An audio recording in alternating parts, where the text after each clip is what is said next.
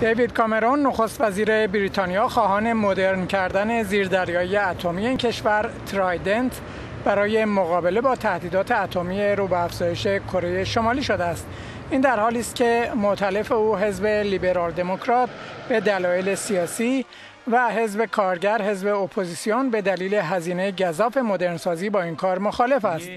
کیم جونگ اون رهبر کره شمالی روز سه‌شنبه تهدید کرد که آمریکا از اهداف حمله نظامی این کشور است که شامل حمله اتمی نیز خواهد بود. چاک هگل وزیر دفاع آمریکا در واکنش به این تهدیدها از جمله گفت همان گونه که کره شمالی لفاظی های خطرناک خود را تشدید کرده و طی هفته های اخیر دست به حرکت هایی در این زمینه زده. وضعیت آشکارا خطرناکی به وجود آمده است. به نظر کارشناسان گرچه کره شمالی از امکانات لازم برای حمله به آمریکا برخوردار نیست اما می تواند کره جنوبی و ژاپن را مورد هدف قرار دهد.